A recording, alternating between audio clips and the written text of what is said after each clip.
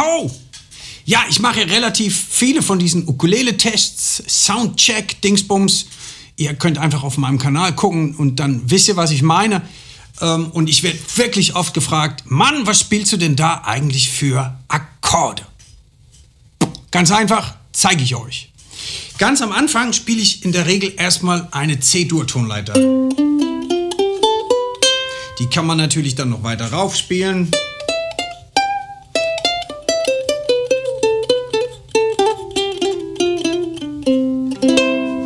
C-Dur-Akkord. Das war das. Dann spiele ich eine Akkordfolge aus einem Stück, das heißt zum äh, I Remember You. Das ist von so einem hawaiianischen Knilch. So, eigentlich hat es die Akkorde ähm, F-Dur, A-Moll 7, B-Dur und C7. Aber war mir ein bisschen zu langweilig, deswegen habe ich zum F-Dur noch die Major 7 gemacht. Das ist der kleine Finger auf vierten Bund C-Seite, so dass wir 2, 4, 1, 0 haben.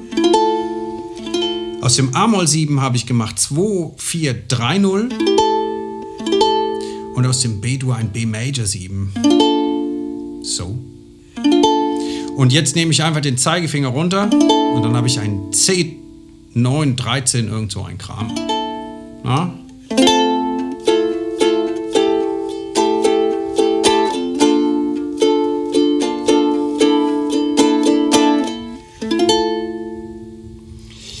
Geht es weiter. Ich spiele die Akkorde von äh, Four Sheets to the Wind in Copenhagen. T äh, Tom Waits, äh, manche kennen das als Waltzing Matilda, weil der Refrain so geht. Also, das wäre eigentlich ist es auch F-Dur.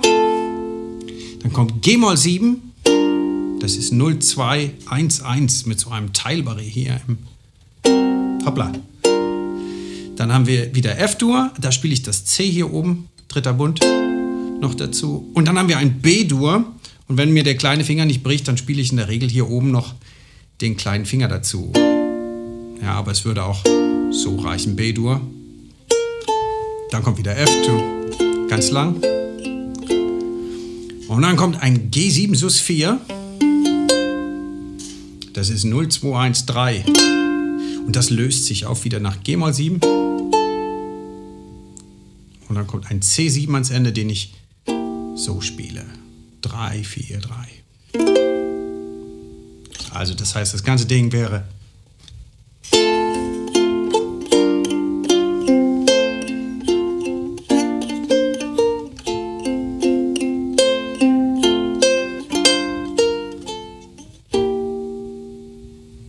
Alright.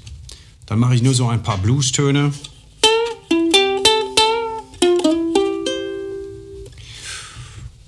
Und danach kommt eine Akkordfolge, die ähm, ist zum Beispiel verwurstet in You and I von Ingrid Michaelsson oder auch im Sommer aus Papier von ähm, Anna Diepenbusch, genau. Es ist C-Dur,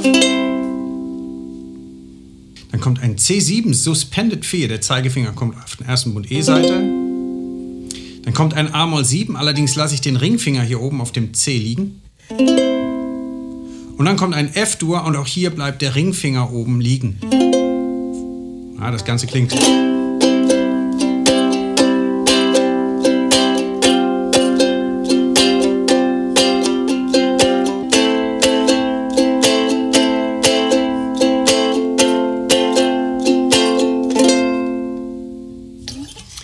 Danach spiele ich so eine übliche Jazz-Akkordfolge, ein sogenannter Quintfall. Das heißt, der Akkord rutscht immer eine Quint nach unten habt ihr zum Beispiel in Five for Two oder, oder Please Don't Talk About Me When I'm Gone. Die Akkorde sind alle offen, ganz normal, hundsordinär. C-Dur fängt es an, dann kommt ein E7-Akkord, dann kommt ein A7-Akkord, zwei Takte, dann kommt D7, G7 und wieder C-Dur. Also Please don't talk about me when I'm gone. Though our friendship ceases from our one.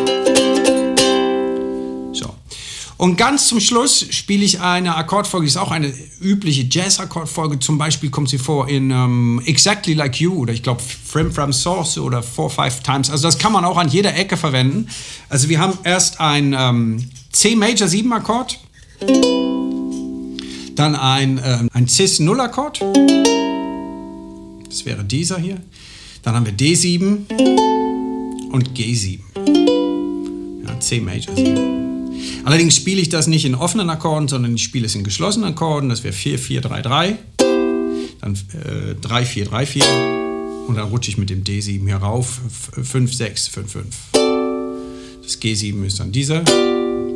Und dann, dann haben wir